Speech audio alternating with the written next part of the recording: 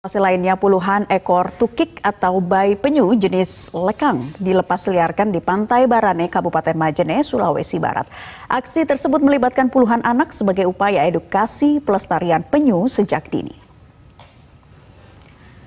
Sebelum memulai melepas liarkan puluhan ekor tukik ini, komunitas Barane atau Kobar Lestari Pantai Barane bersama akademisi Universitas Sulawesi Barat atau Unsulbar melakukan edukasi pelestarian penyu. Edukasi ini dihadiri warga, pelajar hingga anak-anak sebagai upaya edukasi sejak dini. Selanjutnya, puluhan ekor tukik tersebut dilepas liarkan ke laut untuk melestarikan biota laut yang terancam punah. Ketua Kobar Lestari Hasria Hasri mengatakan sebanyak 91 ekor tukik yang dilepas liarkan ke habitatnya.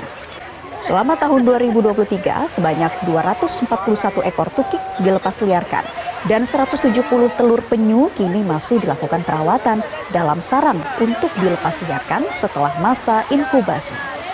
Aksi peduli pelestarian penyu dari kemunahan ini dilakukan Hasria dan kawan-kawan sejak 8 tahun terakhir.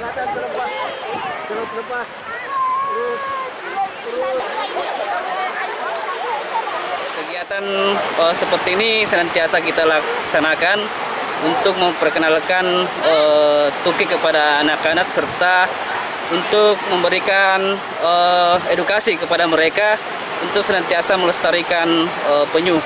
Karena uh, penyu saat ini merupakan salah satu hewan yang terancam punah dan dilindungi dan habitatnya semakin terancam.